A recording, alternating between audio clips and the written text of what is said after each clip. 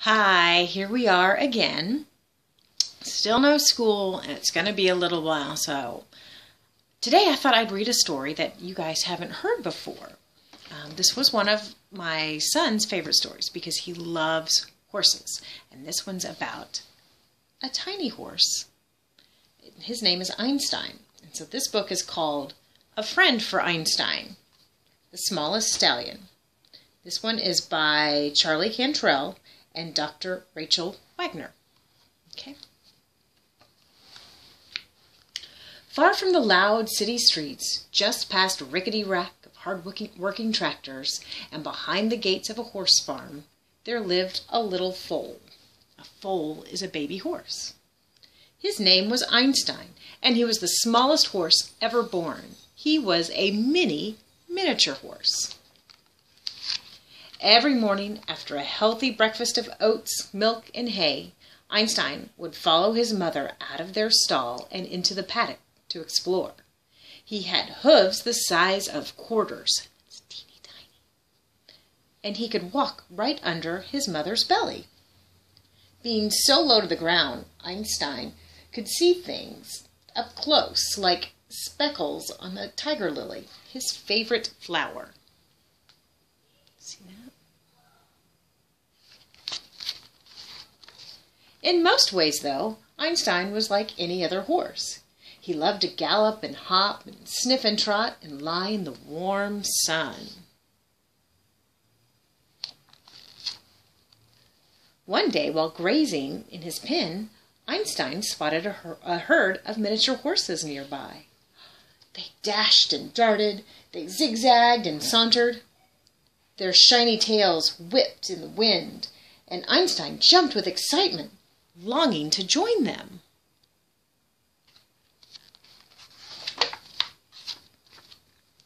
But as much as he might want to, the little colt just wasn't big enough to play with the other horses. When Einstein went to sleep that night, he dreamed the day that he could run with the herd. Can you see Einstein? Look. Do you see what he sleeps with? He sleeps with stuffed horses, pretend toy horses. There was no escaping it. Einstein was lonely. One afternoon, Einstein went in search of a friend. In the field, he came across a pair of kittens. He lowered his head to get a better look, and ouch! One of them swatted his muzzle. They mewed and hissed, and scrambled and scurried. Einstein couldn't keep them straight as they wrestled each other. Feeling a little dizzy, he continued on his way. Those crazy cats were definitely not the right playmates for him. You see the kittens?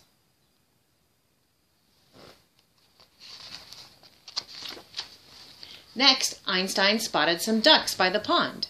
Quack, quack, quack, quack, quack, quack, they said loudly as they waddled off clearly not interested in befriending a horse, even a little one. Maybe it was because he didn't know how to swim. See the ducks?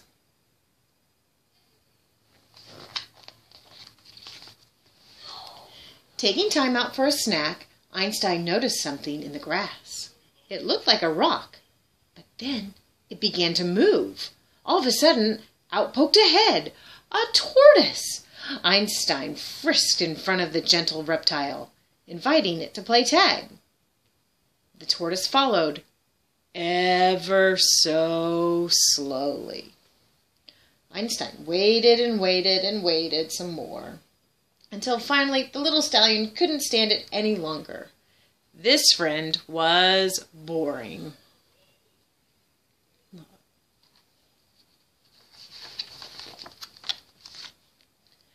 Bunny basking in the glow of the afternoon sun looked more promising. See the little bunny?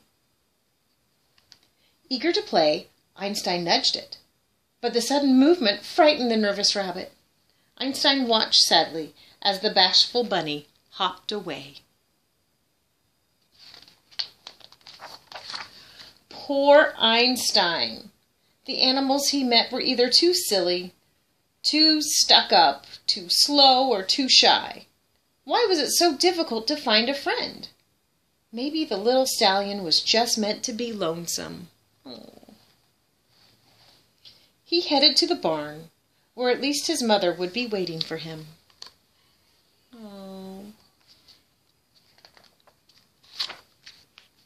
Back by his pen, Einstein was in for a surprise. An odd looking creature was poking through the fence. It was a dog with a snub nose, wrinkly eyes, and a head as big as the moon. She didn't have much of a tail, but what she did have was wiggling. Her name was Lily, like the speckled flower in the pasture. Slowly, carefully, Einstein scooted a little bit closer to investigate. The big dog opened her huge head and. What do you think she did? Slurp! Gave him a big kiss. Would you want a big kiss from a dog like that? Einstein pranced from one side of the field to the other, showing Lily how fast he could gallop. Lily joined in, keeping pace perfectly.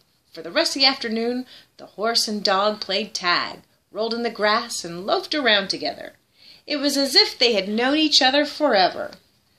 The little horse with the big heart finally found his friend.